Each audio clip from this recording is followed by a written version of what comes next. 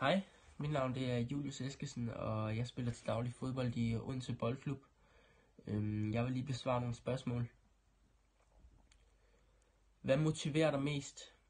Mm, det, der motiverer mig mest, det må nok være glæden og passionen ved at spille fodbold. Øhm, og de der små momenter, som man en gang imellem oplever, øh, hvor at øh, du laver en god ting, eller, eller, eller vinder noget stort. Øhm, den der måde, du bare kan mærke, at adrenalinen kører rundt i din krop. Og, og det der med at, at opnå sine mål.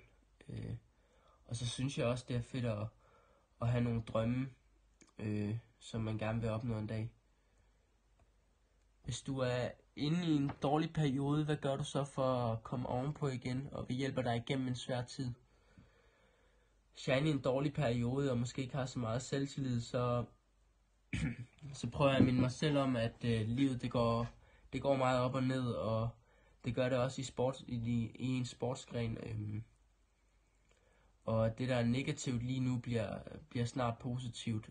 Øh, fordi at jeg ved, at man fejler så mange gange, øh, før at der kommer noget godt ud af det. Øh, og ellers så sørger jeg for at gå virkelig meget detaljer med alting. At jeg får den ordentlige kost, og at jeg får sovet nok, og, og får analyseret mine træninger og kampe. Øh, så jeg ved, det er, hvilke fejl jeg muligvis går og laver. Øh, og jeg kan også godt finde på at, at stille mig ud efter træning og lave et lille selvtillidsboost, hvor jeg enten dribler forbi nogle kejler, og så sparker den i mål, selvom der ikke er keeper på, så, øhm, så booster det ens selvtillid, øh, selvom det er en, på en billig bekostning. Øh, ja. Hvordan har det været for Superliga-kontrakter endelig nå det, som mange drømmer om, altså kunne kalde sig professionel fodboldspiller?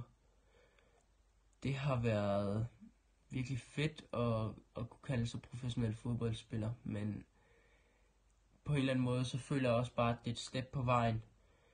Øhm, der er selvfølgelig en helt anden opmærksomhed omkring en, og, og det, er, det, er jo, det er jo selvfølgelig et job for mange, øhm, som der er i branchen, men, men jeg vil sige, det der med at være professionel, det er, det er stadigvæk bare, jeg ser det ikke som et job, men mere bare min passion.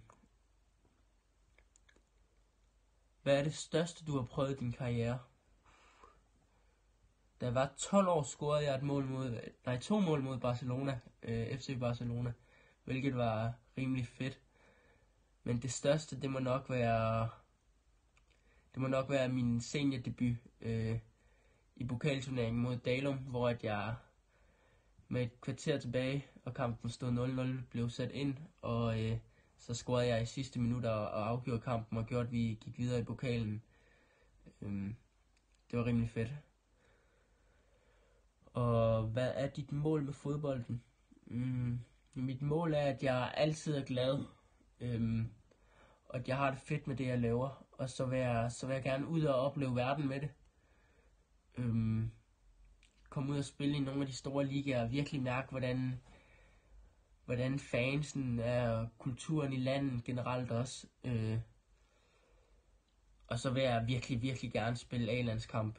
Øh, en masse af dem og få, få folk skal kende mig og huske mig den dag jeg stopper også øh, som, som en spiller der var passioneret og som lavede nogle gode ting på bolden og var teknisk dygtig.